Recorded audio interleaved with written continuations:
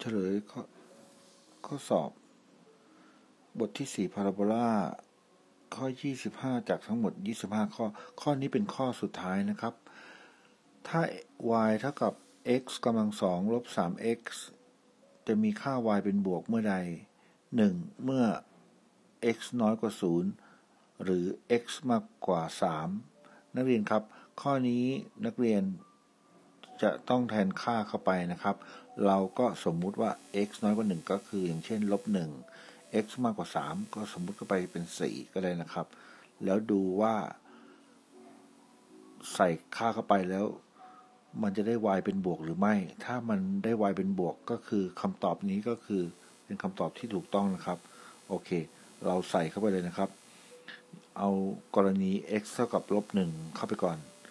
อันนี้คือข้อ 1 ลบหนึ่งยกกำลังสองครับ ลบด้วยสามสามคูณ x นะครับ ลบด้วยสามคูณ x x ก็คือลบหนึ่งนั่นเอง ลบหนึ่งยกกำลังสองก็กลายเป็นหนึ่งนะครับ กลายเป็นหนึ่งแล้วก็ลบด้วยสามคูณลบหนึ่งก็ได้ลบสามลบสามเจอกับลบ กลายเป็นบวกสามนะครับ ดังนั้นเราก็ได้4 ในกรณีที่มันเป็นลบหนึ่งแล้วถ้ามันเป็น4นะครับ อ้าว ลองแทนดู ถ้ามันเป็น4 4ยกกำลังสองเข้าไปเลย ลบด้วย3คูณด้วย4นะครับ4ยกกำลังสองก็เท่ากับ16ลบด้วย12คำตอบที่ได้ก็คือ4นะครับ อันนี้เป็นจริง อันนี้ก็เป็นจริง ดังนั้นข้อ1คือข้อที่ถูกต้อง เราลองมาดูข้อ2ดูนะครับ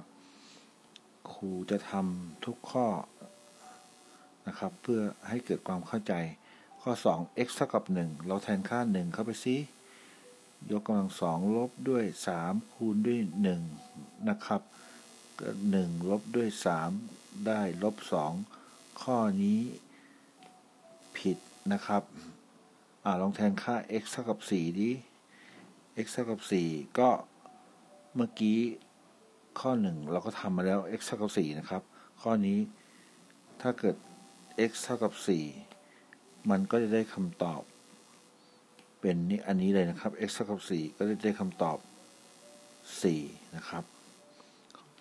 อันนี้ก็ถูกต้องก็คือผิดข้อหนึ่งถูกข้อหนึ่งข้อนี้ก็ผิดนะครับ ต้องถูกทั้งสองเงื่อนไข โอเคต่อมา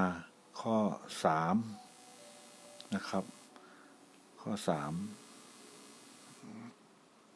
x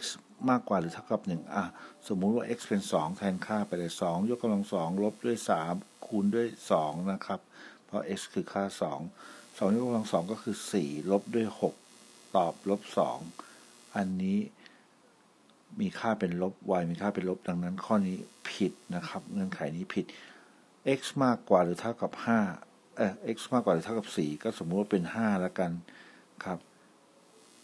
ห้ายกกำลังสองลบด้วยสามคูณห้านะครับยี่สิบห้าห้ายกกำลังสองก็คือยี่สิบห้าลบด้วยสิบห้าเท่ากับสิบเงื่อนไขเนี้ยถูกต้องนะครับ เงื่อนไขอันแรกผิดเงื่อนไขอันสองถูก สรุปว่าต้องผิดนะครับ ต้องถูกทั้งสองอันถึงจะถูก ข้อสี่ไม่มีข้อใดถูกต้องก็ผิดนะครับ เพราะว่าข้อ